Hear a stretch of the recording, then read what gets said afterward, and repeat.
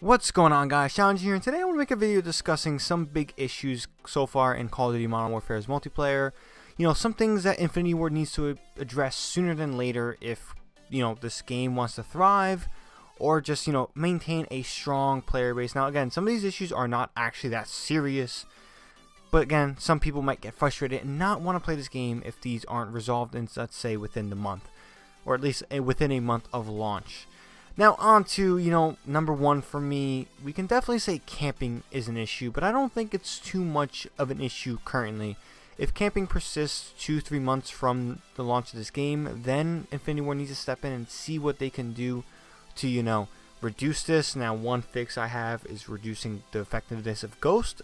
Ghost in this game, you have it on, you don't need to move, you pretty much are unseeable. So I think they need to change that perk for, you know, you need to activate it by staying on the move. I think that'll be a better way to utilize the perk and make it maybe not so crunchy. I mean, again, people running gunning will definitely want to run ghosts, but again, I think it'll get people moving because if they, you know, they don't have to move for ghosts, they're not gonna move. So that's one little fix. But in general, I just think people are just getting accustomed to the maps because these maps are designed much differently than the three lane maps. They're very open. You can use many different routes to cross in between the maps. So people are unfamiliar with this flow style, so they're taking it slow. And on top of that, you know, when a game comes out, a Call of Duty comes out, everybody is worried about their KD within the first two months of this game. So again, that's why I say give it two, three months, see if camping persists, if it becomes an overlying issue. But on to number two, the M4A1. Now this is certainly the biggest issue on the list in my opinion because this honestly breaks the really well done gun balance of Infinity Ward, what they did with this game. And the reason is that I have not found a gun so far that can literally beat the M4A1 if shot first. Like again, every gun has their pros and their cons, but the M4 seems to have zero cons. It is highly accurate, it is hard hitting, has a fast reload, you know, and is like rate of fire is pretty damn good. There is literally no con to the M4A1. Now again, maybe people are saying, "Yeah, they're realistic. The M4A1 is just a really good gun in real life." Yes, but at the same time, guns in video games are designed to have pros and cons. You know, if you look at Battlefield 4 with DICE and what they did with that, there was a rock, paper, scissors. You know, ARs are pretty good, SMGs are pretty good, LMGs are good, snipers are good, but they were all good at certain things. Maybe the ARs were a little bit more balanced, like more powerful than other weapons, but in general, you can use other weapons and be highly successful in that game. Now, the reason I'm using the DICE's Battlefield 4 is because it's honestly one of the few times I felt guns were properly balanced in a video game.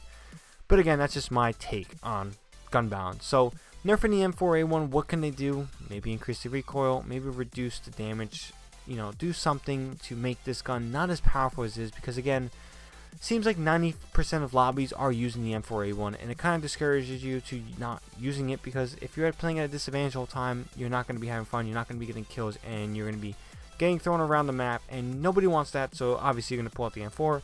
I've been trying to use different guns, but if it's just not working, I really switch the M4 just to bring back my KD and just see if we can pull the game back to a victory. Now, at number 3, Claymores. Now, this is an issue I had when the game, you know, in my beta video, 3 annoying things in the Call of Duty beta.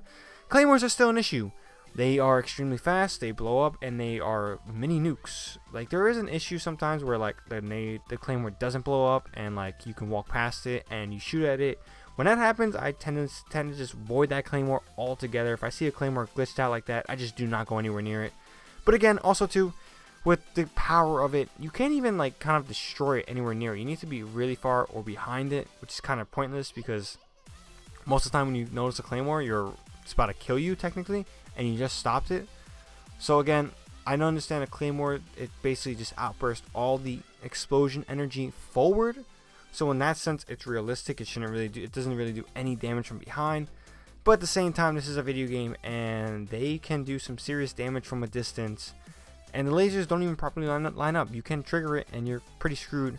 So again, claymores are pretty much a crutch tactical, not crutch, uh, cr uh, a, a crutch lethal equipment right now everyone's running claymores. You got to put claymores. It's almost a free kill at this point. You put it in a route where someone has to go through.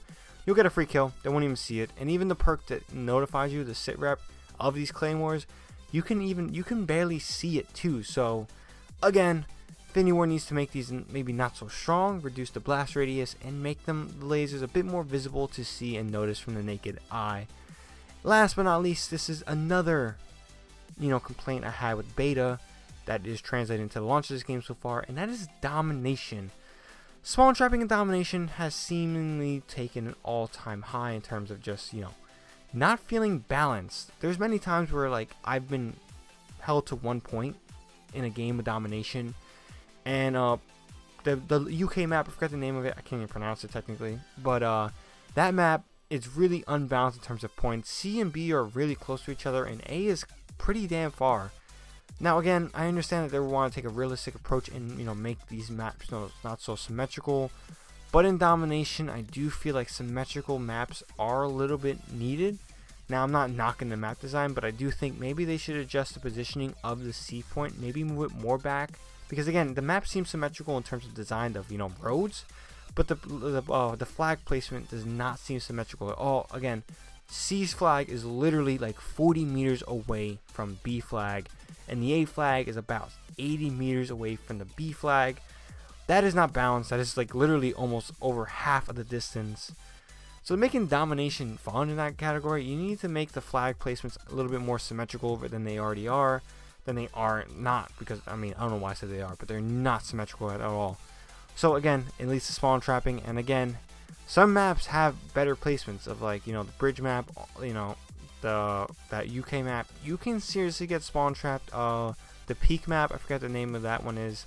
Those maps I've been spawn trapped significantly from pretty much the same side. Need to find a way to not only maybe reduce the, the distance they can get to the flag before flipping spawns, because I do think they can get a little bit closer to the flag before flipping the spawns, and it's highly, highly frustrating when you're getting spawn trap.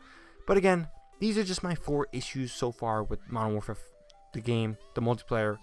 They need to fix these. I don't think it's game breaking. I think the M4 is pretty much the biggest problem on this list.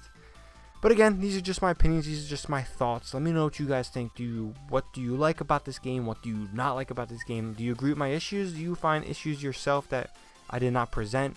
Let me know down in the comments below. Make sure you guys like this video if you enjoyed. Subscribe for more Call of Duty Modern Warfare gameplays, tips, news, discussion videos like this. But until next one, guys, hope you guys have a good one. Shadow here, and I'm out.